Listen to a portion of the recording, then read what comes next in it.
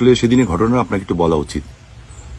আমি সেদিন মাত্র আমেরিকা এসে পৌঁছেছি এবং আমি আমার এক ছোট ভাইকে নিয়ে ওখানে গেছিলাম একটু চা খাওয়ার জন্য এবং আমরা দুজনই ছিলাম, আর কেউ ছিল না। সেখানে বোধ হয় বিএনপির কোনো প্রোগ্রাম ছিল, তো সেখানে পঞ্চাশ ষাটজন ছিল বাইরে দাঁড়িয়ে আমাকে দেখা মাত্রই অশালীন ভাষায় তারা গালাগালি করছিল। তাতে আমার কিছু এসে যায় না, কারণ তাদের কাছে এর বেশি ভালো কিছু আমি আশাও করি না।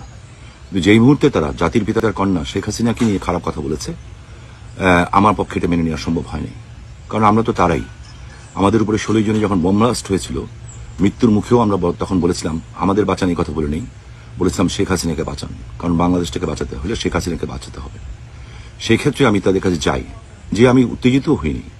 আমি তাদের কাছে একটা কথাই বলেছিলাম, বোঝানোর চেষ্টা করেছিলাম, এবং আমি দেখেছিলাম যে তাদের মধ্যে বেশ কিছু ছেলে এটা বুঝতে পেরেছিল যাদের বাবা মা ভালো। আমি বলেছিলাম যে তোমার বাবা মা তোমাদের কি শিক্ষায় শিক্ষিত করেছে? বয়স কত? একজন বলল যে আমার বয়স চৌত্রিশ। আমি বললাম যে আমার ছেলের বয়সও তোমাদের সমান। তো তোমরা যে রাস্তায় দাঁড়িয়ে এই অশালীন ভাষা ব্যবহার করছ, তো এতে মানুষ কি বলবে? মানুষ তো তোমাদের বাপ মাকে নিয়ে কথা বলবে, যে তোমাদের কোনো সভ্যতা শেখায় নাই। আর জাতির পিতার কন্যা তো আমাদেরই মাতৃতুল্য। সেখানে তাকে নিয়ে এরকম নোংরা গালি দিচ্ছ কীভাবে?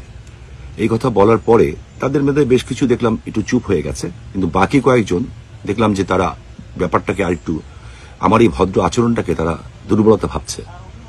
আমার কাছে যেটা ভালো লেগেছে, আমার সাথে কিন্তু আর কেউ ছিল না, আমি আমার বললাম যে আমার সাথে যে গাড়ি চালাচ্ছে সে ছাড়া। কিন্তু দেশের মানুষ যে জাতির পিতা কন্যাকে ভালোবাসে এবং বিদেশেও যে ভালোবাসে, তার প্রমাণ হয়েছে, আমি একটা জাতির পিতা কন্যার একটা সামান্য নগণ্য কর্মী। সেইখানে জ্যাকসন হাইডে যারা ব্যবসা করেন, তারা তারা এখানে বেরিয়ে ঘটনাটা দেখছিলেন। এবং আমার কথাও শুনছিলেন, তাদের কথাও শুনছিলেন। একটা সময় তারা ব্যাপকভাবে এটার প্রতিবাদ করেন এবং প্রতিবাদের একটা পর্যায়ে তারা প্রতিরোধ করেন। যখন তারা প্রতিরোধ করে খেপে যান, তখন তারা ওখানে ভীত হয়ে ওখান থেকে পালিয়ে চলে যায় এবং মোটামুটি তারা পালাতে বাধ্য হয় বলব আমি। তো আমি শুধু একটা কথা বলতে চাই, এই ঘটনায় বেশ কিছু উত্তেজনা ছড়িয়ে গেছে। যারা উত্তেজিত হয়েছেন, আমি বিশেষ করে আমার নারায়ণগঞ্জের লোকদেরকে বলব এবং সারা বাংলাদেশের সবাইকেই বলব, আমাদের উত্তেজিত হওয়ার কোনো দরকার নেই। কারণ তাদের সাথে আমাদের ডিফারেন্স থাকবেই। কারণ তারা তো সেই দলের নেতা, যেই দলের তারেক রহমান জাতির পিতার কন্যাকে একুশে আগস্টে গ্রেনেড হামলা করে হত্যার চেষ্টা করেছে। আমাদের হাজার, তারা ক্ষমতা থাকা অবস্থা আমাদের হাজার হাজার নেতাকর্মীকে হত্যা করেছে, আমাদের মা বোনদেরকে রেপ করেছে।